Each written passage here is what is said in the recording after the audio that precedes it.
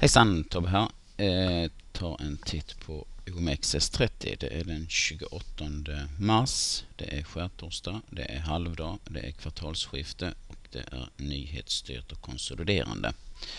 Med andra ord, en eh, upplagt för en riktig skitdag. Men Det behöver det inte bli, för då kan mycket väl bli precis tvärtom. Men så ser läget ut i alla fall. Och eh, det vi kan konstatera här nu... Hoppsan. Det kan vi inte alls skriva så då. Eh, det vi kan konstatera det är att eh, 1200-nivån här, den är ju en nivå som eh, har satt ganska starka avtryck i eh, pris... Ett himla slammande. I prisgrafen. Eh, och eh, på nedsidan har vi en hel del stöd. Eh, och igår så fick vi en initial Eh, först efter den här gapet upp till 1200, det körde in i kaklet, så tog säljarna över, eller rättare sagt köptrycket avtog. Och kursen pressades ner till 11,85 och det var ju en nivå som vi markerade i förra veckan som ni kommer ihåg lite längre bort här. Ingen speciellt stark eh, stödnivå, men eh, med stöd från eh, den amerikanska börsens initiala uppgång så vände OMX upp eh, och köparna sög upp det eventuella säljtrycket här då. Eh, och fick en uppgång upp mot eh, 1200 nivån igen, 1198 innan sen kursen föll ner och stängde på 1194,5. Eh, vi ser att vi har en hel del eh, nivåer här nu då. Eh, här kring 1192 till exempel har vi en och sen har vi då 118050 eh, här nere har vi en stödnivå. Sen har vi då 1180, 1178 längre ner där då, som är viktiga att bevaka. Och på ovansidan så möter ju då 1200, 1207, 1212, 1218, 1223. Det är de som vi bevakar på ovansidan, eller jag bevakar på ovansidan. Rätt eller fel, det får var och en bedöma. Eh, så här ser det ut om vi plockar på lite indikatorer och annat i dagsgrafen. Eh, vi kan först förresten titta på, så här gör vi. Eftersom det är månadsskifte så vill jag gärna ha koll på hur så här brukar jag göra då. Så, eh, så kan vi se här att eh, i månadsgrafen så har ju kursen dragit iväg ordentligt långt ifrån 12 månaders glidande medelvärde.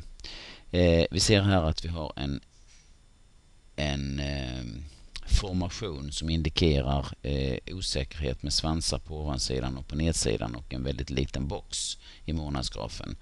Ett tecken på att eh, köparna är osäkra kring den här nivån. Eh, jag läste någon som sa att det här som jag pratade om med gummiband och sånt fick jag läsa om att det var ju total bullshit.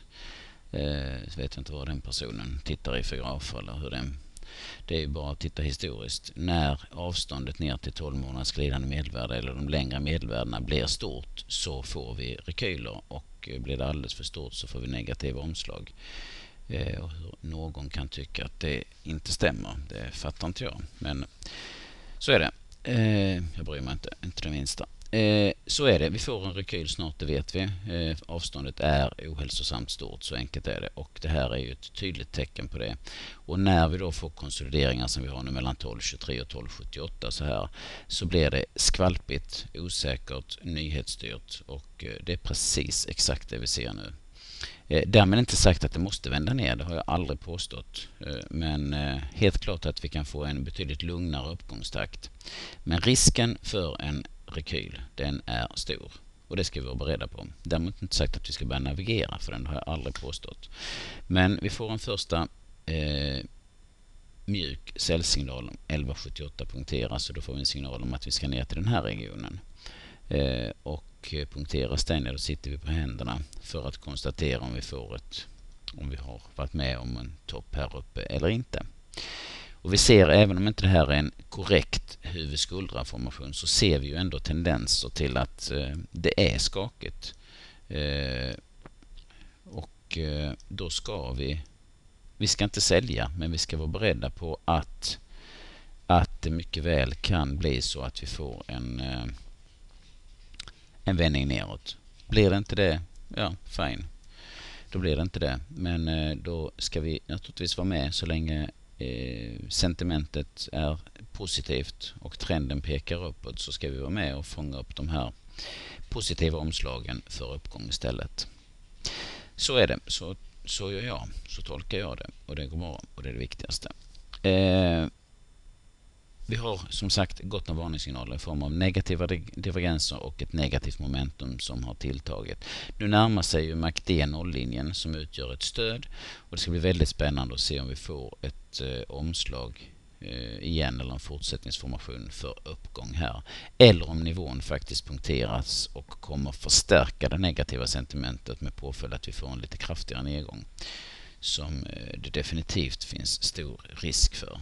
Som sagt, eh, med risk för att eh, om vi tittar sista, sista åren så har jag för mig att eh, OMX, jag är inte helt säker, men jag tror det föll en halv procent eller 0,4 eller vad det var förra skärtorsdagen och sen tror jag det låg plus minus noll eller kanske någon hundradel ner eh, för två år sedan och innan dess så tror jag också, jag tror, jag tror det varit skitdagar eh, de senaste tre, fyra skärtorsdagarna, jag är inte helt säker. Jag tycker det är kass med halvdagar, totalt värdelöst. Tänk på stäng 12.55 då eh, är det kol sista fem minuterna.